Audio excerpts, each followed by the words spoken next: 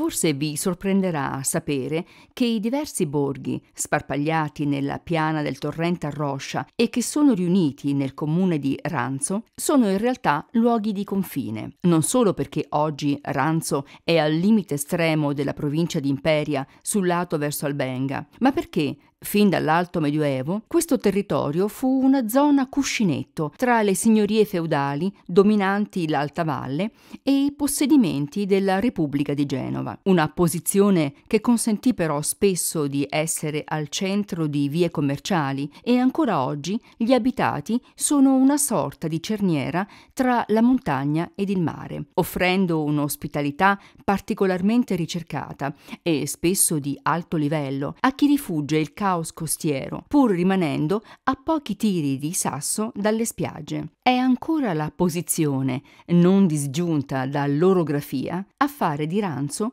un'ideale cantina a cielo aperto, perché qui si produce uno dei principi del vino ligure, il pigato, senza dimenticare che, per chi ama i rossi, questa è ancora zona di vitigni che producono l'ormeasco o il rossese. Ma ascoltate cosa ne dice un abitante. Manzo ha una peculiarità tutta sua, che è quella del pigato. Il pigato è questo vino bianco che qui cresce, è quest'uva che cresce respirando da un lato l'aria delle Alpi, dall'altro l'aria del mare.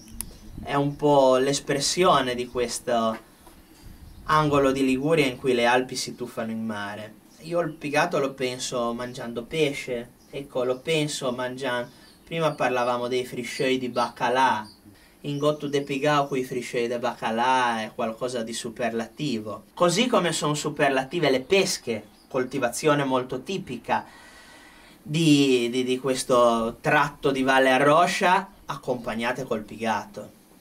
Allora, sì, i friscioi di baccalà col pigato, una macedonia di pesche col pigato, ma anche una crostata con la marmellata di pesche accompagnata da un ottimo bicchiere di pigato, sono qualcosa che non solo allieta il palato, ma esprime lo spirito di questa terra.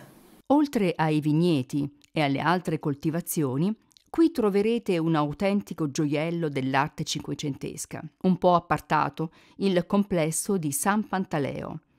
Magari vi incuriosirà questo antico santo, che ebbe tuttavia, nel lontano passato, molta fortuna, dando persino il nome ad una maschera della commedia veneziana. Martirizzato con atroci torture, finì con le mani inchiodate sulla testa, che subito dopo gli fu mozzata. San Pantaleo però ci offre il destro per almeno accennare ad una intera famiglia di artisti nati in questa terra.